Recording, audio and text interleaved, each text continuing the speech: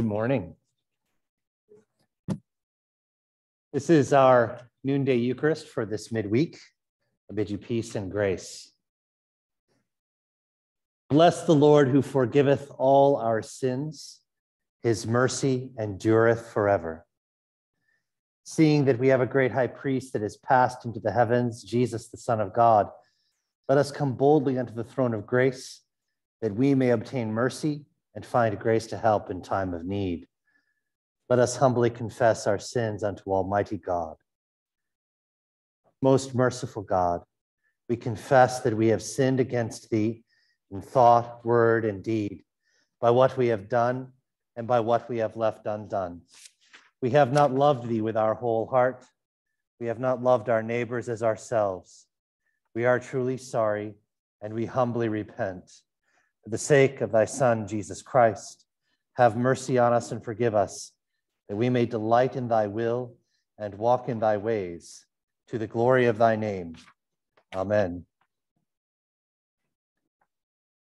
The Almighty and merciful Lord grant you absolution and remission of all your sins, true repentance, amendment of life, and the grace and consolation of his Holy Spirit. Amen. Lord, have mercy upon us. Lord, have mercy upon us. The Lord be with you. With Let us pray. Almighty God, who seest that we have no power of ourselves to help ourselves, keep us both outwardly in our bodies and inwardly in our souls, that we may be defended from all adversities which may happen to the body and from all evil thoughts which may assault and hurt the soul. Through Jesus Christ our Lord, who liveth and reigneth with thee in the Holy Spirit, one God, now and forever. Amen. Please be seated.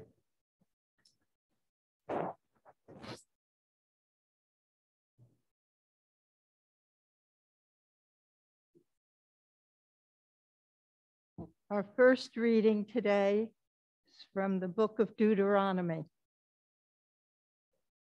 So now, Israel, give heed to the statutes and ordinances that I am teaching you to observe so that you may live to enter and occupy the land that the Lord, the God of your ancestors, is giving you. You must neither add anything to what I command you, nor take away anything from it, but keep the commandments of the Lord your God with which I am charging you.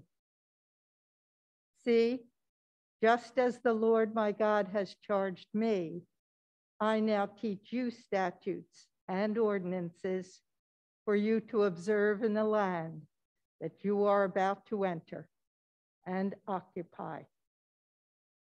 You must observe them diligently, for this will show your wisdom and discernment to the peoples, who, when they hear all these statutes, will say, Surely this great nation is a wise and discerning people. For what other great nation has a God so near to it as the Lord our God is whenever we call on him?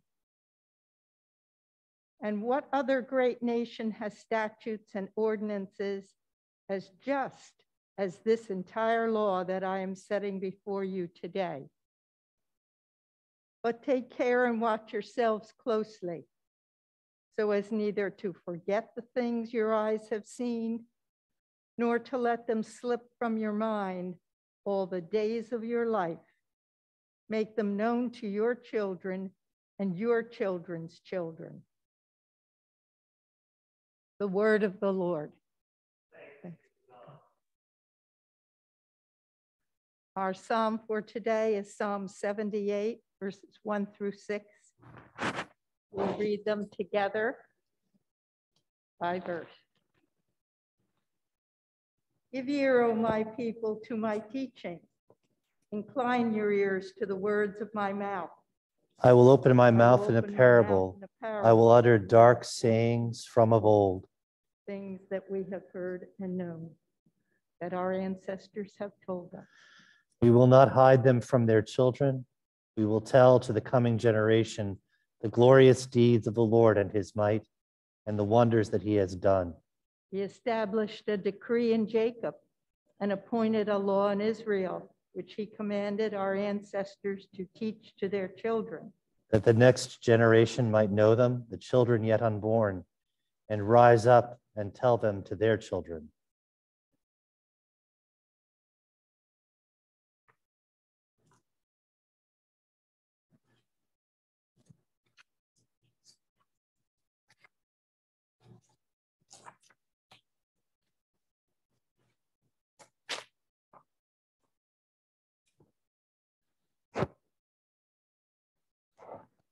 The Holy Gospel of our Lord Jesus Christ according to Matthew.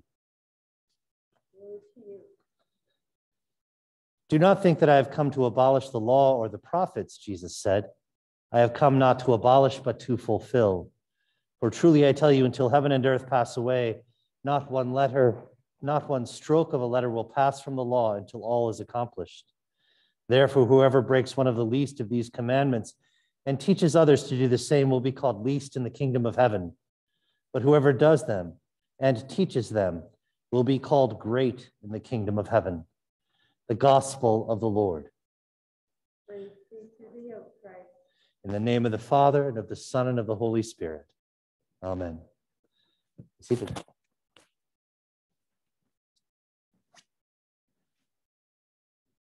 In a church that I served in Rhode Island, an old colonial church, there were these beautiful uh, sailcloth panels that had been lacquered that hung behind the, uh, the, the main sanctuary area where the altar table was, where we celebrated communion. And in one panel was the, uh, the Nicene Creed in fine gold script on a black background, again, lacquered to the wall. On the other was the, the Lord's Prayer, and in and the third was the Ten Commandments. Um, the idea behind the Ten Commandments is kind of coherent to the other 603 or so, 605 or so that are noted in Hebrew scriptures. The idea that God has given law as the sign of love. I will be your God, you will be my people. Follow these directives, and you will have life in me, and I will be with you and for you throughout time. The understanding is that God is the constant, and we are continually responding to God by responding and keeping God's law and God's commandments. The interesting thing that I find in the ratio of those commandments is a few pertain to the way we relate to God, but most of them really direct how we are to be to each other. When Jesus says that I have come not to abolish the law and the prophets, but to fulfill them, he's actively reminding us that we have to be diligent in understanding that what God asks of us pales really in share to what God is seeking from us for God, but instead works out itself in how we are to be with each other. What will life look like as we order ourselves in relationship to each other? And from that, God will discern our adherence, our loyalty, our love, our response to the grace and love of God in that. Oftentimes, we get caught up on the idea that law is about rules to keep rather than relationships to nurture. In this Lenten season, we're reminded again and again that the core of who we are as people of faith is not to be found, if you will, in conduct in and of in a space that is a vacuum. We are not apart from all others, reserved to a unique relationship with God. Instead, we are in a corporate, an embodied relationship with God as the people of God, as the body of Christ, as the church gathered. First, in relationship to each other and figuring out how we can more rightly order that in guidance and love from the Spirit and the teachings of Christ. Then ultimately, having figured out what reconciliation looks like in community, we can then turn our prayers, turn our focus to God, and seek to amend those broken relationships that we have with the Almighty. The truth is, we tend to accumulate those brokennesses in us with each other and with God, much as one would accumulate coins in a jar sitting on a bedstead table as we finish each day. We toss them in and then count them out. But rather than thinking of them as an accumulation, what would it look like if we think of them as treasures of opportunity, opportunities for reconciliation, opportunities for recompense, for giving ourselves over and with intention to each one of those accumulated elements so that we can find a more trusting, a more loving, a more right relationship with the other, a more trusting, a more loving, a more right relationship with the Almighty. That is the challenge at its core, not only of a holy Lent, but of a holy life lived in relationship through Jesus Christ in and amongst the life of the church, and particularly oriented towards in service and love to God. Amen.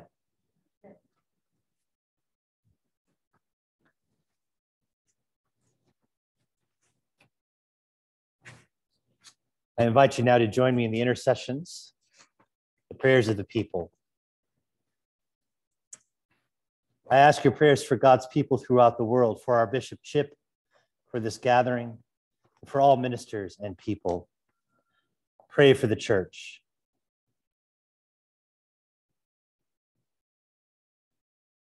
I ask your prayers for peace, for goodwill among nations, for the well being of all people. Pray for justice and peace.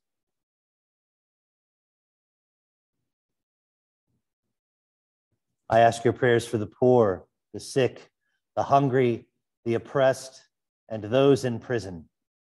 Pray for those in any need or trouble.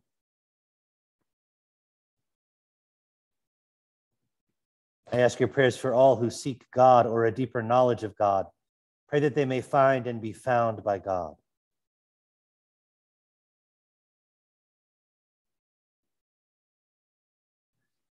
I ask your prayers for the departed. Pray for those who have died. I ask your prayers for Elizabeth, Rick, Christopher, Felicia, Luann, Katie, Elizabeth, Paul and Nancy, Tara, Kim, Anne Marie, Renee, Robert, Misty, Stacy, Moira, Alex, the Hawkinjoss family, Dylan Kay and Michael, Doug and Christy, Larry, Roger, Steve, Maureen, Jeff, Anne, Dora, Jean, Gary, Kay, Rob, Tony, Sonny, Shirley, the Donna Maria family, Guy, Pete, Pat, Marge, Peggy, Piper, Ayla, Lorraine, William, and Phil, and Chris. We pray for peace in Ukraine and everywhere war dominates and causes people to be at risk of violence, depredation, deprivation. May there be peace.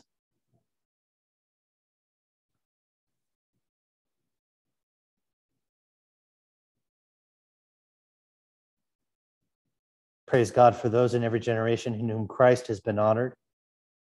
Pray that we may have Christ, grace to glorify Christ in our own day.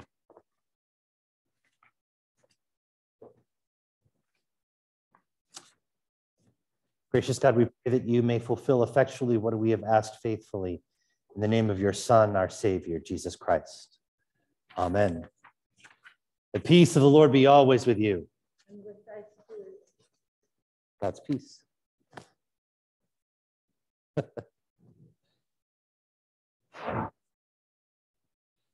I beseech you, brethren, by the mercies of God, to present yourselves as a living sacrifice, holy and acceptable to God, which is your spiritual worship.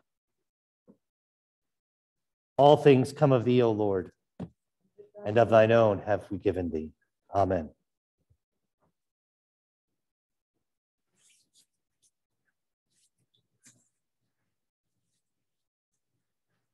The Lord be with you. Lift up your hearts. Let us give thanks unto our Lord God. It is very meet, right, and our bounden duty that we should at all times and in all places give thanks unto thee, O Lord, Holy Father, Almighty, everlasting God, through Jesus Christ our Lord, who was in every way tempted as we are, yet did not sin, by whose grace we are able to triumph over every evil and to live no longer unto ourselves, but unto him who died for us and rose again. Therefore, with angels and archangels and with all the company of heaven, we laud and magnify thy glorious name, evermore praising thee and saying, Holy, holy, holy Lord, God of hosts, heaven and earth are full of thy glory. Glory be to thee, O Lord Most High. Blessed is he that cometh in the name of the Lord. Hosanna in the highest. All glory be to thee, O Lord our God, for that thou didst create heaven and earth and didst make us in thine own image. And of thy tender mercy didst give thine only Son, Jesus Christ, to take our nature upon him and to suffer death upon the cross for our redemption. He made there a full and perfect sacrifice for the whole world and did institute, and in his holy gospel command us to continue a perpetual memory of that his precious death and sacrifice until his coming again. For in the night in which he was betrayed, he took bread. And when he had given thanks to thee, he broke it and gave it to his disciples, saying, Take, eat. This is my body, which is given for you. Do this in remembrance of me. Likewise, after supper, he took the cup. And when he had given thanks, he gave it to them, saying, Drink this, all of you. This is my blood of the new covenant, which is shed for you and for many for the remission of sins. Do this as oft as ye shall drink it in remembrance of me.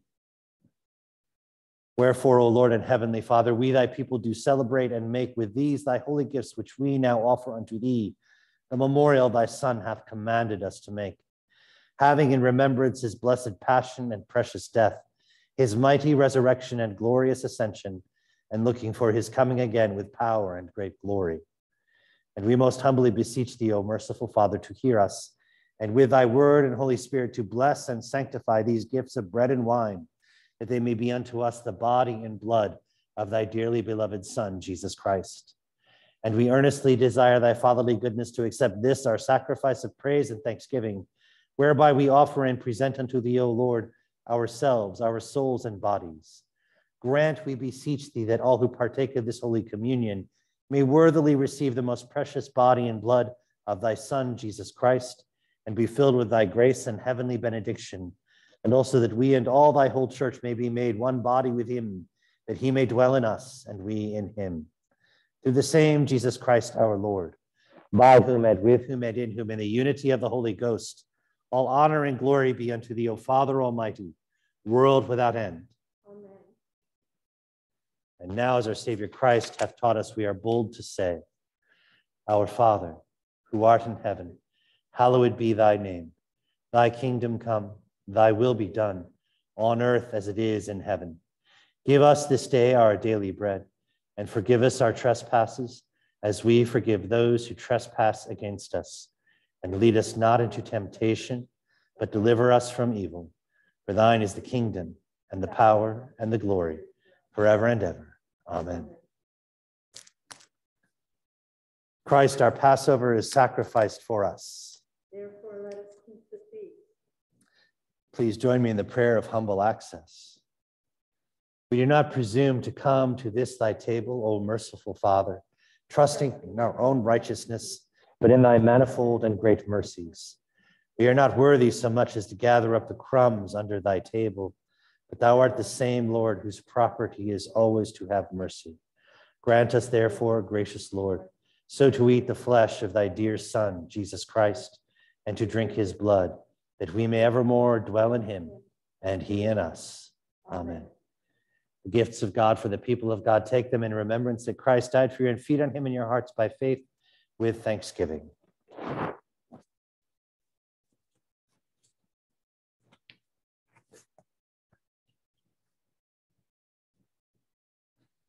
The body of Christ, the bread of heaven.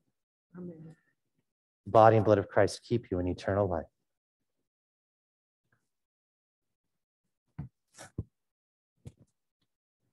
Body of Christ, the bread of heaven. The blood of Christ, the cup of salvation.